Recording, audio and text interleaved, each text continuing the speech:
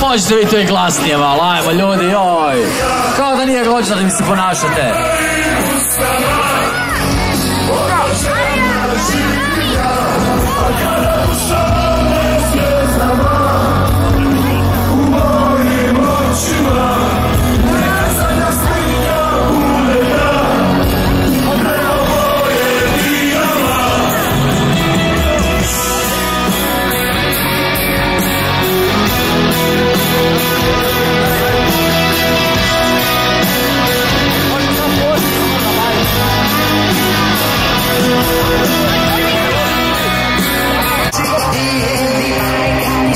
Za sve koji ste odradili uh, slikanje sa svojim idolima, sa našim igračima ovdje, možete se okrepiti, imamo tu za povesti, za popet, imamo za roditelje kojima treba malo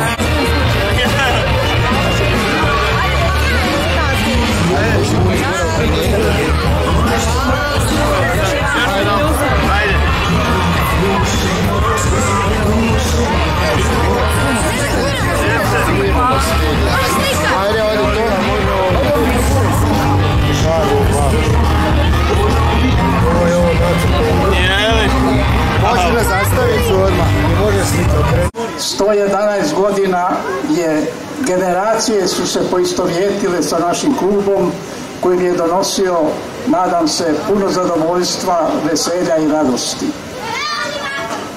Dinamo je postao i on to danas jest i hrvatska i zagrebačka športska institucija.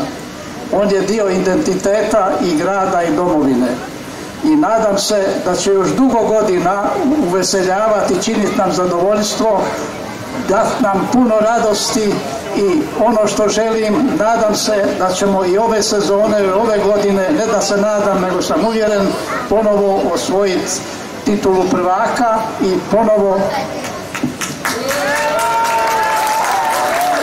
ne jedno, ne jedno.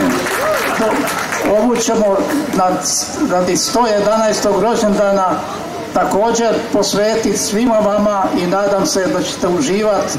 Da vam se zahvalim što ste došli u ovakvom broju i što ste e, uvećali ovaj rođendan našeg najboljeg i najvećeg kluba u Hrvatskoj. Hvala vam na tome. Ja u ime igrača i u ime svih nas e, mogu vam obećati da ćemo dati sve od sebe da i ove godine postavimo naslov u Zagrebu. Hvala vam.